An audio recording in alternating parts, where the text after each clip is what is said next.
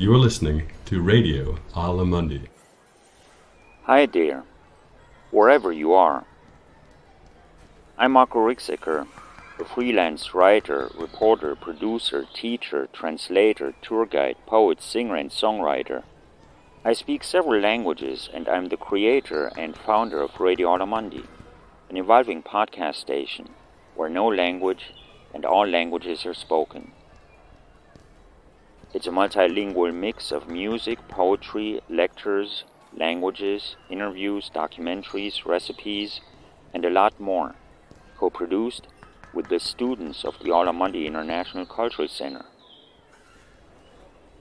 You can find us on radioalamundi.bandcamp.com, podcasts.apple.com, Spotify, YouTube, Breaker, Player FM, Facebook, Search, Radio Aula Mundi.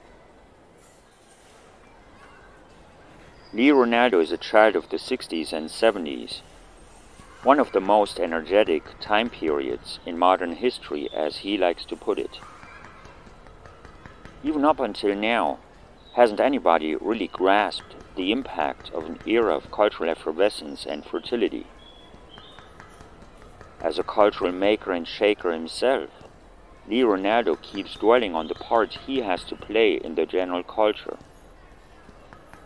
He simply introduces himself as a visual artist and musician, and, as such, he strives to challenge moral standards, which he refers to as the morality of the law. In general, it tends to lag behind the standards of a younger contemporary generation by about 40 to 50 years, he explains. And the upheavals of the 1960s and 1970s stood up against that. Lee Ranaldo and the iconic band he was a member of for many years, Sonic Youth, stand for this generational call for freedom.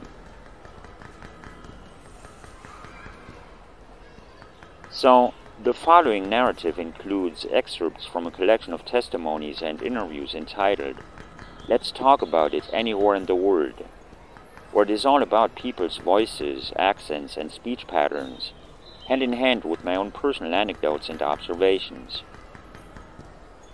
In addition to that, people are allowed to introduce themselves in their respective, often indigenous, languages and dialects and to speak their minds freely, without any paraphrases or expectations. So, let the story go on from there. It's all about freedom of speech, which may go as far as challenging the law. It might call for actions, like walking naked down Fifth Avenue in Manhattan, Lee Ranaldo's hometown. One thing is certain his sense of humor is intact. Humor, especially political satire, is all about freedom of speech. It has to do with chaotic realities that don't always make sense. That's why Lee Ranaldo has no trouble doing a reading performance of an excerpt from Bob Dylan's strange opus, Tarantula that he can relate with. From Tarantula by Bob Dylan. Unfortunately, my friend, you shall not get the information you seek out of me. I, my good man, I am, I am not a fink. None of my relatives are or, ha- or have been related to Benedict Arnold, and I myself despise John Wilkes Booth. I don't smoke marijuana, and my family hates Italian food. None of my friends like black and white movies, and again, myself, I have never seen a Russian ballet. Also, I have started an organization to turn in all people that laugh at newsreels. So, could you please stop those letters to the district attorney saying that I know who murdered my wife? My principles are at stake here. I would not sacrifice them for one moment of pleasure. I am an honest man. Yours in growth, Ivan the Bloodburst. One of the most striking things Lee Ranaldo tells me that day is that you should be alert to whatever is going on if you want to be creative. So to me, Lee Ranaldo represents the culture and the arts of the American underdog, and his artwork tends to make people refreshingly uncomfortable.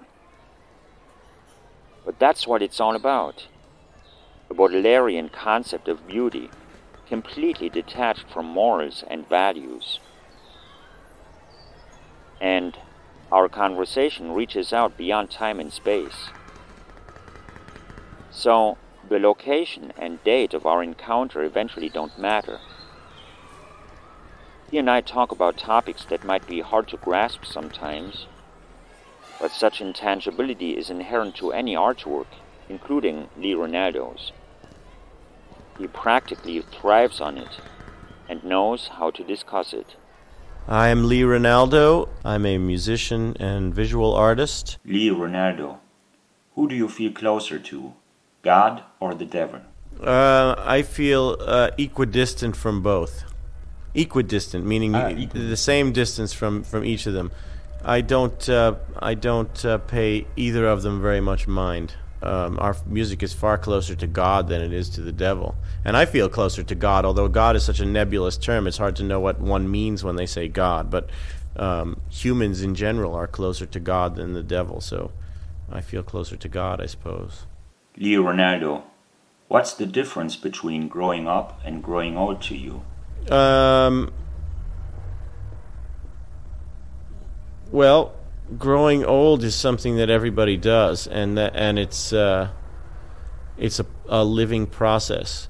Growing up is a, a factor related to maturity, and it's something that only happens to people who continue to expand their horizons and their consciousness. Lee Ranaldo, what key feature characterizes the neighborhood you live in? Um, I live in downtown New York. The key feature is big, tall buildings and lots of people and lots of energy. Lee Ranaldo, do you accept chaos? You have to accept chaos. Chaos is all around us and everywhere, and everything is moving towards chaos, and we try and fight it off and pretend it doesn't exist, but it does exist. Um, so, sure, mm. I embrace chaos. Lee Ranaldo, which part of the day do you prefer? Um, I like a lot of times of the day. I like the early, early morning, and I like the late, late night. I like afternoon, right when the sun is going down, and the middle of the day when the sun is high and bright. Lee Ranaldo, which generation do you belong to? I belong to the generation of the 60s and 70s in general, the events of the '60s, in particular, still play a big part in everyone's life, and and uh, still are a very important uh, time of. It's not all. It's not every decade or every year in a century that, that has a certain kind of upheaval and significance to it. And there's something that happened in the 60s that maybe hasn't happened since the 20s or since the last century, and people are still trying to figure out what it was all about. It was a very um, important decade, I think, in a lot of ways, and I don't think we've had anything equally important since. Lee Ranaldo, what has been the most important event in the 20th century to you? Um,